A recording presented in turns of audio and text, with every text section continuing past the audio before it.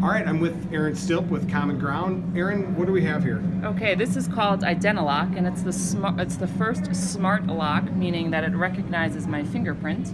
So when I go to touch it, it's recognizing my fingerprint, and it immediately pops off, giving a gun owner immediate access to their gun, but not their five-year-old child or their teenager in suicidal distress or a thief. And are these available for purchase? for They people? are available at Cabela's and Amazon.com.